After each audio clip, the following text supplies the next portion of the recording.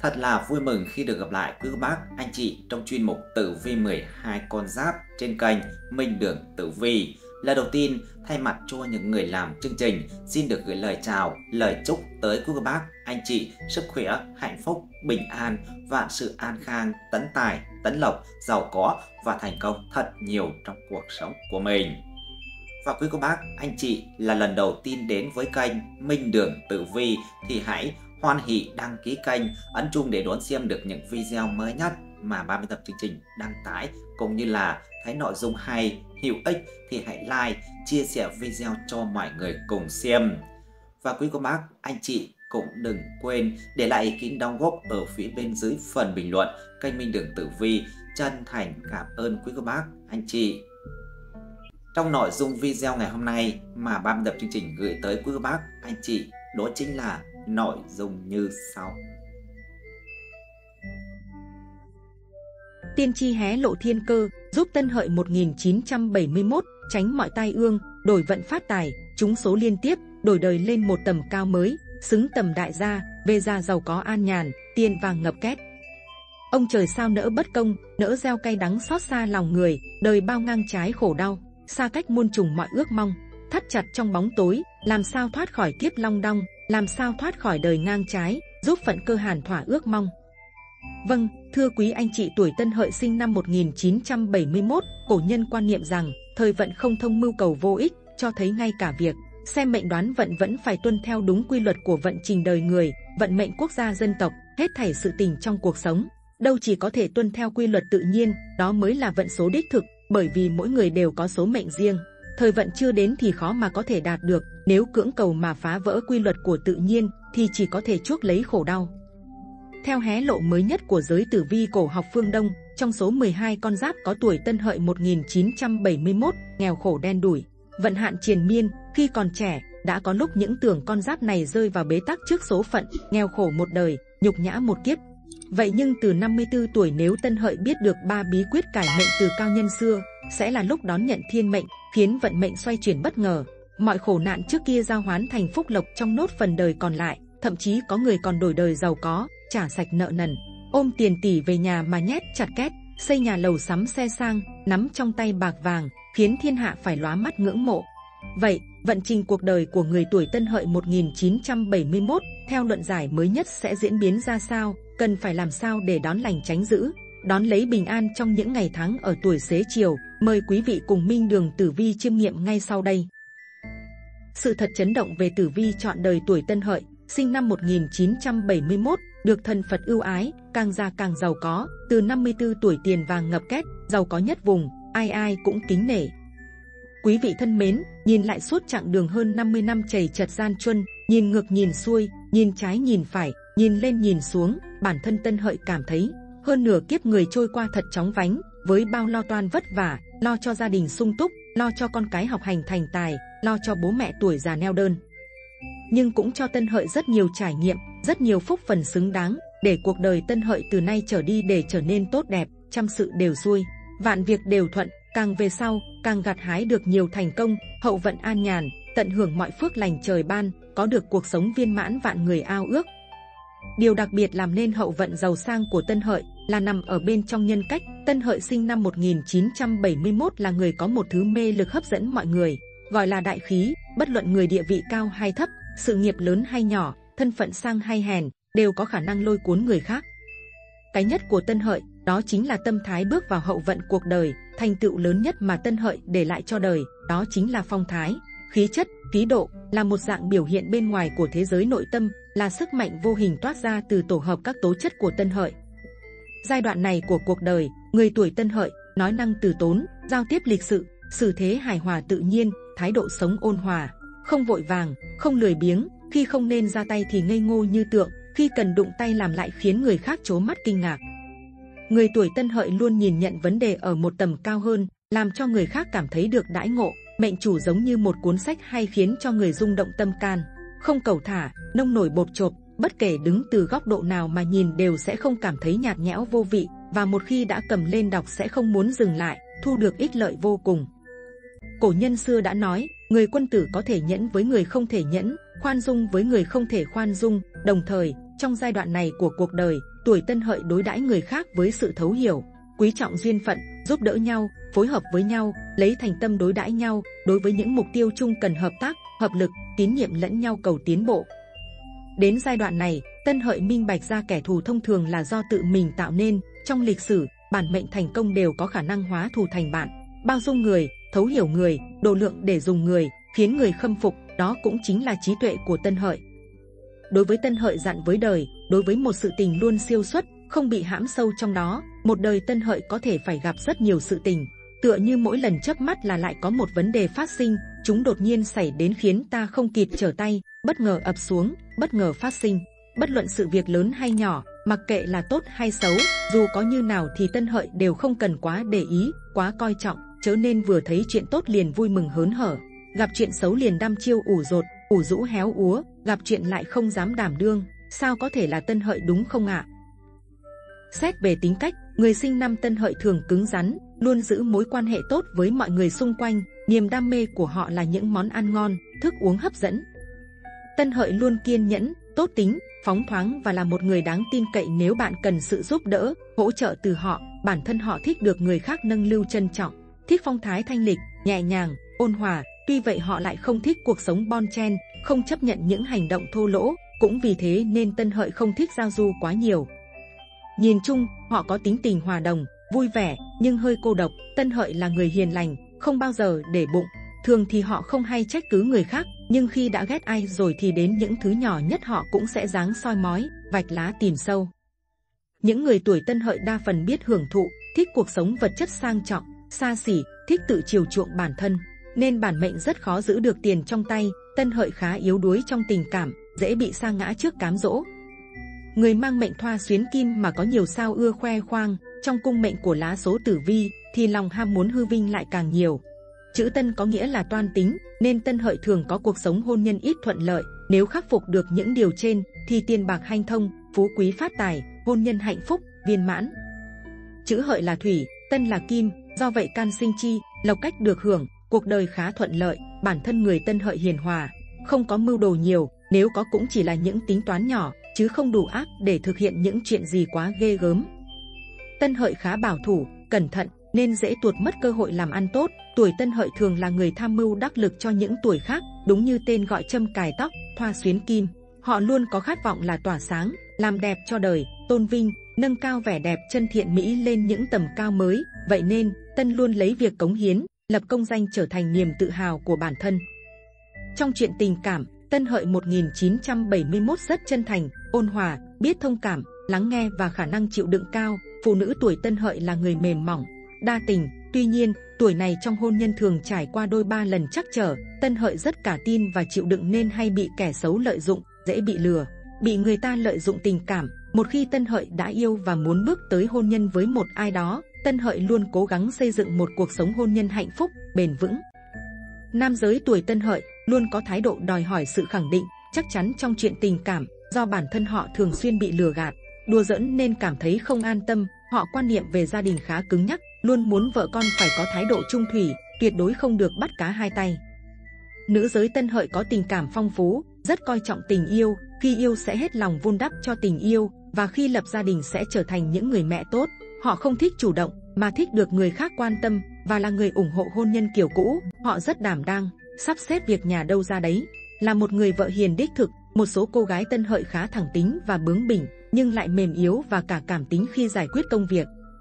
Nhìn chung nếu lấy một người vợ hoặc chồng tuổi tân hợi thì hãy yên tâm vì họ sẽ cố sức để che chở, chăm sóc bạn và vun vén gia đình.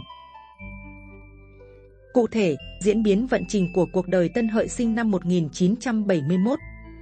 Từ 20 đến 25 tuổi, thời gian này chỉ có phát triển về tình cảm, tài lộc lại hơi bị yếu kém, đường công danh có phần lên cao, không nên đi xa trong những năm này. Từ 26 đến 30 tuổi, thời gian này bạn sẽ gặp được nhiều may mắn về vấn đề tài lộc, tình cảm vượng phát tột độ. Những năm này lập gia đình khá tốt, trừ năm 29 tuổi, việc làm ăn gặp nhiều tốt đẹp. Từ 31 đến 35 tuổi, thời gian này, việc làm ăn, tình cảm, gia đạo và tài lộc vẫn ở trong mức độ trung bình mà thôi. Năm 33 tuổi, sức khỏe suy yếu, kỵ tháng 10 âm, từ 36 đến 40 tuổi, thời gian này có số tốt đẹp về công danh, hay nghề nghiệp, những năm này bạn có phần phát đạt về gia đình, công danh lẫn sự làm ăn. Vào 37 tuổi, trong gia đình có đại nạn, cẩn thận về con cái. Từ 41 đến 45 tuổi, thời gian này không được nhiều tốt đẹp, có nhiều xui xẻo, không nên giao dịch về tiền bạc, cũng như không nên làm ăn có hại. Từ 46 đến 50 tuổi, thời gian này bình thường, không có gì quan trọng xảy ra trong cuộc đời, gia đạo, tiền bạc vẫn bình thường, việc làm ăn không được nhiều kết quả tốt đẹp lắm. Từ 51 đến 53 tuổi, khoảng thời gian này, gia đình trở nên trầm trọng, cuộc sống không được bảo đảm hoàn toàn, có sụp đổ sự nghiệp trong thời gian này. Đề phòng sức khỏe không được tốt, trong khoảng thời gian này, nên cố nhẫn nhịn và tránh những việc tố tụng có hại cho gia đình và hạnh phúc của bạn. Tiếp theo là vận trình tuổi tân hợi từ 54 tuổi. Về công việc, từ 54 tuổi, đường sự nghiệp nhìn chung của tuổi hợi sinh năm 71 tương đối ổn định. Mặc dù không có nhiều thăng tiến để vươn lên vào thời điểm này, ngoài ra, dưới sự phù hộ của nhiều chòm sao may mắn, năm nay làm việc sẽ nhàn nhã, ít áp lực, có thời gian thực hiện dự định riêng và bạn sẽ có nhiều thời gian để tận hưởng cuộc sống của mình sau giờ làm việc. Kiều sống chậm rãi này rất thích hợp với tuổi tân hợi sinh năm 1971, nhưng dù vậy, anh chị cũng đừng quá thả lòng bản thân, đặc biệt là ở nơi làm việc, bạn vẫn phải làm tốt mọi việc của mình. Nếu bạn là một người chủ, nên chú ý quản lý hoạt động kinh doanh của mình, không được giao phó tất cả chúng cho người khác, nếu không sẽ vẫn có những rủi ro nhất định. Theo lời giải của Tử Vi, thì sau 53 tuổi sự nghiệp của người tuổi Tân Hợi có nhiều điểm sáng đáng kể, do rất nhiều yếu tố thuận lợi xuất hiện. Có thể thấy rằng mọi kế hoạch bạn đặt ra ở thời điểm hiện tại đều sẽ tiến triển đều đặn, thậm chí còn trôi chảy bất ngờ. Tam hội đem tới quý nhân, giúp bạn tìm ra định hướng phát triển, dù có đang mơ hồ về tương lai của mình đi nữa. Bạn cũng dần dần hiểu được thêm về các thế mạnh của mình, từ đó dần xác định được đâu là con đường chính xác. Với tính cách hài hòa, cởi mở, bạn cũng nhận được sự yêu mến của nhiều người xung quanh. Giai đoạn này, bạn không cần lo lắng phải đối diện với khó khăn, bởi xung quanh bạn không thiếu người sẵn sàng giúp đỡ. Hãy tự tin nhận các nhiệm vụ khó khăn và mang tính thách thức, bởi lâm quan sẽ giúp bạn thêm minh mẫn, sáng suốt, nhanh chóng tìm ra hướng giải quyết công việc. Nếu hoàn thành tốt nhiệm vụ được giao, bạn hoàn toàn có cơ hội lọt vào mắt xanh của cấp trên, nhận được lời tuyên dương, thậm chí là quyết định thăng chức. Về phương diện tài lộc, tài lộc của người tuổi tân hợi xem ra tốt hơn người khác, tuy nhiên, họ lại không biết tiết kiệm, dễ chi tiêu bạt mạng, bởi vậy, tốt nhất nên hình thành thói quen ghi chép tài chính hàng ngày. Đương nhiên, nếu có thể tìm được người bạn đời giỏi quản lý tài chính thì đúng là không gì tốt bằng. Người tuổi tân hợi chịu thương chịu khó, nên cuối đời an khang, có điều họ không phải là những người giỏi kiếm tiền, tiền họ kiếm được dựa vào niềm tin và sự nỗ lực của họ. Ngoài ra còn nhờ sự giúp đỡ không ngờ tới của người khác, bởi vậy, người tuổi tân hợi nhất định cần chú ý tới các mối quan hệ xung quanh mình. Nhìn chung, người tuổi lớn tự kiếm tiền hay kiếm tiền nhờ vào người khác đều tốt cả. Nếu người tuổi tân hợi đang làm kinh doanh thì tốt nhất hãy mạnh dạn một chút. Đã suy nghĩ kỹ rồi thì nên đầu tư, đương nhiên cũng cần lựa chọn cẩn thận. Chỉ cần lơ là một chút thì tiền của sẽ tiêu tan, vượt qua vài khó khăn nhỏ thì việc kinh doanh sẽ tốt đẹp. Nếu người tuổi tân hợi có thu nhập cao, có tiền đầu tư vào kinh doanh, thì tốt nhất nên đầu tư vào cổ phiếu hoặc bất động sản, khi về già, càng may mắn. Bước qua tuổi 53, đường tài lộc của những người tuổi hợi sinh năm 1971 vẫn khá ấn tượng. Bạn không cần vất vả làm việc thì tiền bạc sẽ tự nhiên đến cửa nhà. Bạn có nhiều cơ hội thu tiền về đầy túi, vấn đề chi tiêu cũng không còn phải cân nhắc quá kỹ càng như trước. Tam hội đem về nhiều công việc làm ăn triển vọng cho tân hợi. Việc của anh chị là lựa chọn công việc nào phù hợp nhất với mình không nên ôm đồm quá mức khiến cơ thể mệt mỏi mà chưa chắc đã đạt hiệu quả cao. Nếu đã nung nấu kế hoạch làm ăn nào đó trong suốt một khoảng thời gian dài, thì bạn nên tranh thủ bắt tay vào làm ngay. Quá trình thực hiện bạn sẽ còn gặp được thêm nhiều yếu tố thuận lợi hơn nữa, cuối cùng chạm tay tới cái đích mình đặt ra nhanh chóng bất ngờ. Việc đầu tư cũng có thể cân nhắc thực hiện ngay trong thời gian này, nếu còn chưa có nhiều kinh nghiệm. Bạn có thể tham khảo thêm ý kiến của những người đi trước, chỉ cần cẩn thận trong mọi quyết định, bạn hoàn toàn có cơ hội thu về lợi nhuận bước đầu. Người làm công ăn lương hoàn thành xuất sắc nhiệm vụ được giao, cũng sẽ được nhận nhiều khoản thưởng nóng. Chẳng có cấp trên nào lại keo kiệt với một nhân viên triển vọng như bạn, hãy coi đây là phần thưởng để tiếp tục cống hiến trong tương lai. Về phương diện sức khỏe, từ 54 tuổi, Tân Hợi 1971 cần đề phòng sức khỏe nhiều hơn, tuy bên ngoài không có biểu hiện gì, thậm chí có thể cảm thấy rất khỏe mạnh, nhưng một số các bệnh tiềm ẩn phải phòng tránh như cao huyết áp, tiểu đường, tim mạch, nếu có cảm giác khó chịu, tốt nhất bạn nên đi kiểm tra ngay. Ngoài ra, bạn cũng nên chú ý đến sự kết hợp giữa thịt và rau trong chế độ ăn uống và tập luyện để đảm bảo dinh dưỡng cân đối. Nếu đang dùng thuốc phải tuân theo chỉ định của bác sĩ, không được tự ý thay đổi hoặc quên uống thuốc, nếu không sẽ ảnh hưởng rất lớn đến sức khỏe. Hãy duy trì lối sinh hoạt khoa học, điều độ, chớ nên ôm đồm nhiều việc hoặc tham gia quá nhiều các buổi vui chơi, tụ tập. Bản mệnh hãy dành thời gian bên người thân, thể dục thể thao nhiều hơn và hạn chế ăn các đồ ăn sẵn, đồ uống kích thích gây hại cho sức khỏe. Về phương diện tình cảm, gia đạo Đường tình cảm của tuổi Tân Hợi 1971 có phần thăng trầm do thất sát bị phá vỡ, nên mối quan hệ với những người xung quanh có vẻ không được tốt, thậm chí người bạn đời của họ cũng có những bất đồng vì nhiều lý do khác nhau. Đặc biệt, những tròn sao hung tinh sẽ sinh ra đủ thứ cãi vã, thậm chí các quý ông sẽ trở nên nhiều chuyện và thường xuyên xen vào chuyện của người khác vô cớ. Điều này không chỉ khiến con cái chán ghét, mà còn đồng nghiệp và bạn bè xung quanh bạn cũng sẽ cảm thấy xa lánh. Vì vậy, sinh năm 1971 tuổi Tân Hợi nên im lặng, ít nói và làm nhiều, nếu cảm thấy chán nản, buồn chán không có nơi nào để chút bỏ, thì nên tìm cho mình một sở thích của bản thân để tạo cảm giác thoải mái, vui vẻ. Với người đã có đôi có cặp, Tân Hợi biết trân trọng hạnh phúc mình đang có, nên luôn ân cần chăm sóc nửa kia, đối phương ắt hẳn cũng sẽ cảm nhận được và dành cho bạn một tình cảm tương tự. Tuy nhiên, vì quá nổi bật nên giai đoạn này bạn không tránh khỏi những đối tượng đeo bám, hãy luôn giữ khoảng cách thích hợp với mọi người xung quanh, tránh mập mờ gây ra những hiểu lầm không đáng có.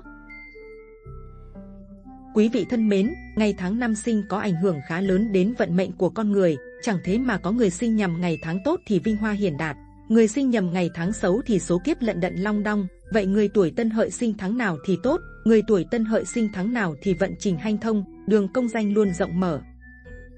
Tháng 1 âm lịch, tháng 1 âm rơi vào tiết tân xuân, người tuổi tân hợi sinh thời điểm này trong năm thông minh mà hiền đức, là người có địa vị, được tôn trọng nể vì, danh lợi hanh thông, phúc lộc tự tới, có thể làm nên đại nghiệp.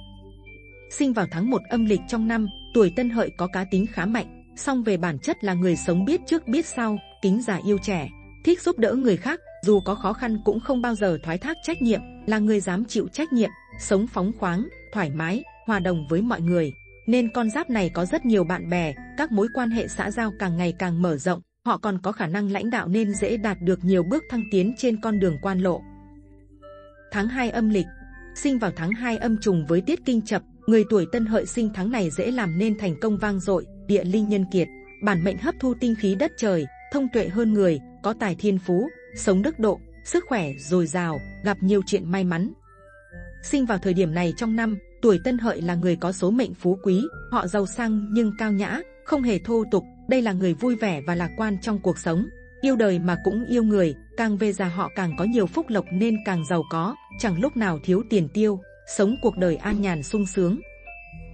Tháng 3 âm lịch Tháng 3 âm là tiết thanh minh, người tuổi tân hợi có tháng sinh này sức khỏe cực kỳ tốt, có thể nói là tốt nhất trong 12 tháng sinh, tính tình thẳng thắn, cương trực, song có khi vì thế mà đắc tội với người khác, tự tạo kẻ thù cho mình, ý chí cao, chẳng muốn nhờ cậy ai, sống thanh cao, được nhiều người ngưỡng vọng. Người này không được nhờ lộc tổ tiên, cha mẹ anh em, mọi thứ có được trong tay là do chính mình làm nên, họ có thiên hướng về nghệ thuật, nên phát triển theo hướng này. Tuổi tân hợi sinh vào tháng 3 âm lịch luôn tạo áp lực cho mình, hay vất vả chạy vạy ngược xuôi, nhờ vào tài trí cùng nhân phẩm, ý chí phấn đấu và tinh thần nhiệt tình, họ có thể tạo cho mình môi trường sống khá tốt, hậu vận tốt, an nhàn hưởng phú quý. Tháng 4 âm lịch, tháng 4 âm trùng với tiết lập hạ, những chú heo sinh tháng này thiên tính thông tuệ, mẫn cảm, nữ mệnh số phú quý giàu sang, nam mệnh phát về điền trạch. Bạn dễ có được quyền chức trong tay, nhờ vào ý chí mà giành được những điều mình muốn, có điều may mắn chẳng được nhiều, có khi có quyền thế đấy, nhưng vẫn gặp không ít khó khăn. Những khi khó khăn sẽ có quý nhân giúp sức, bạn bè ở bên cũng sẽ hỗ trợ phần nào, nhờ vậy mà mệnh chủ có số giàu sang, địa vị cao trong chốn quan trường. Tháng 5 âm lịch, tháng 5 âm trùng với tiết mang trùng, tuổi tân hợi tính tình hiền lành, có nhiều tài lẻ, tuy không có quyền thế trong tay, nhưng có thiên hướng phát triển về văn học, nghệ thuật, có thể thành công nhờ thế. Người này có tham vọng lớn nhưng đôi khi lại trần trừ, có gan nghĩ nhưng không có gan làm, suy nghĩ bảo thủ, về hậu vận sẽ dần chuyển tốt hơn, có thể an nhàn hưởng phúc, con cháu hiếu thuận.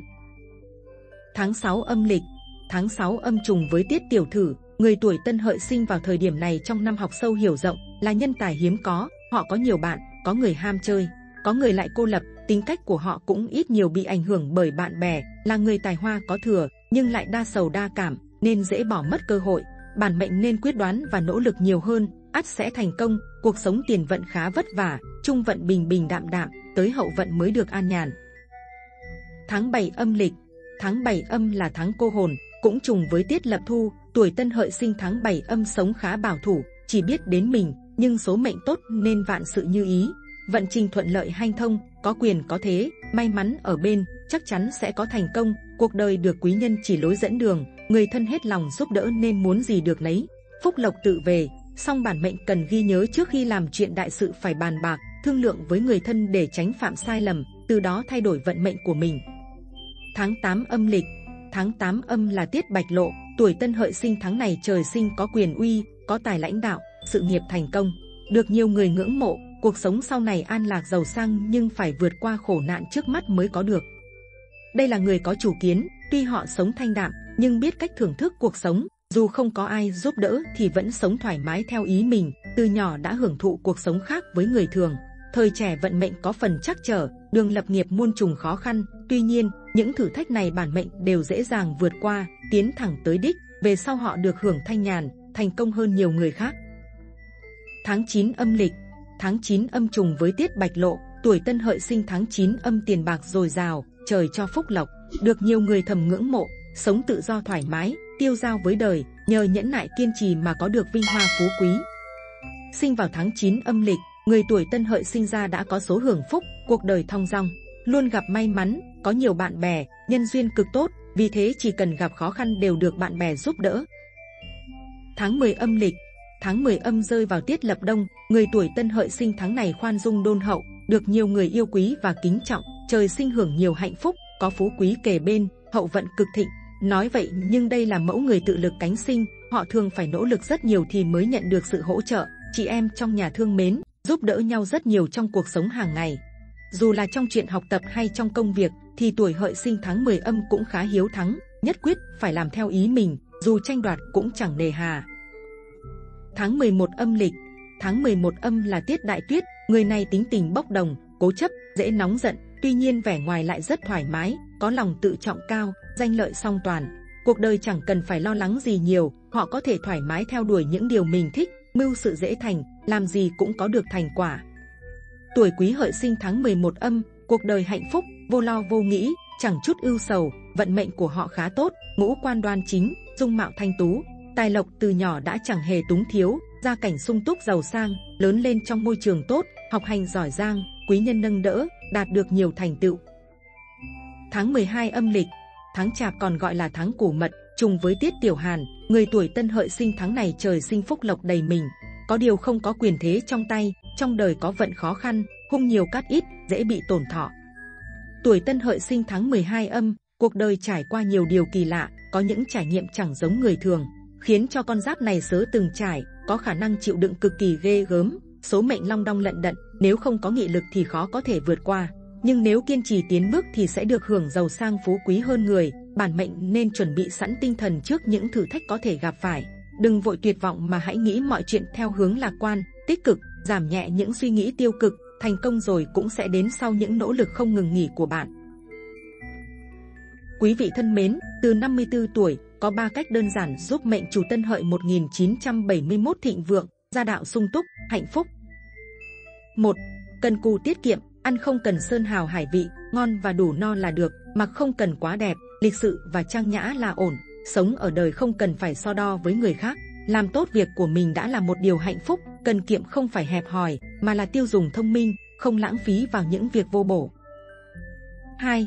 Tích đức hành thiện, Tích đức hành thiện là tấm giấy thông hành hiệu quả nhất để tiến đến một gia đình hưng vượng. Sống ở đời phải cho đi mới có thể nhận lại, làm việc tốt, nghĩ điều thiện mới có thể khoan dung và thấu hiểu cho những lỗi lầm của nhau, thậm chí được thần Phật độ trì, gia tăng phúc đức, giúp con cháu đời đời quý hiển. 3.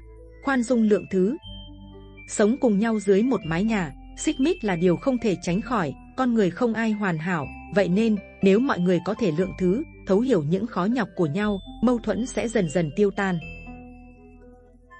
Đặc biệt khi Tân Hợi 1971 dù có giàu nứt vách, cũng không vào ba cửa, làm được phiền nhiễu tránh xa, lợi lộc tìm đến. Cửa thứ nhất, sòng bạc. Người xưa có câu, cờ bạc là bác thằng bần, cửa nhà bán hết cha chân vào cùng, có thể hiểu cờ bạc là thứ độc hại, có thể gây nghiện, nhưng lại chẳng mang đến lợi lộc gì cả. Một khi đã đâm đầu vào thì khó mà dứt bỏ ra được, cờ bạc vốn có sức mê hoặc, khi đã thắng lại muốn thắng thêm, khi thua lại mang tâm lý muốn gỡ gạc lại, cứ như thế, chúng ta bị lạc vào một vòng tròn luẩn quẩn không thể thoát ra được. Một khi đã mê cờ bạc, người chơi đều tin tưởng rằng mình sẽ thắng, nhưng cuối cùng họ đều rơi vào cảnh khốn cùng, nợ nần chồng chất, tan cửa nát nhà, dính vào cờ bạc, thì dù có giàu sang đến mấy cũng nhanh chóng tiêu tan. Nhiều người còn mất hết tất cả chỉ sau một đêm, cuối cùng phải chọn cách tiêu cực để kết thúc cuộc đời. Cửa thứ hai, nơi thị phi. Cuộc sống vốn ẩn chứa vô vàn điều mới mẻ, kích thích nhiều sự hiếu kỳ của mọi người. Ai cũng muốn được học hỏi và khám phá những điều mới lạ. Có người thích nơi yên ả, nhưng có người lại thích trốn lao sao. Thế nhưng một khi đã xa chân vào trốn thị phi, sẽ khiến bạn rước về hàng loạt rắc rối và phiền não không đáng có. Thêm một việc không bằng bớt đi một việc, người ta muốn tránh còn chẳng được, bạn lại đâm đầu vào làm gì? Sống ở đời, tốt nhất nên hạn chế đi quản những chuyện không liên quan đến mình, nếu không đến lúc hối hận thì cũng đã muộn.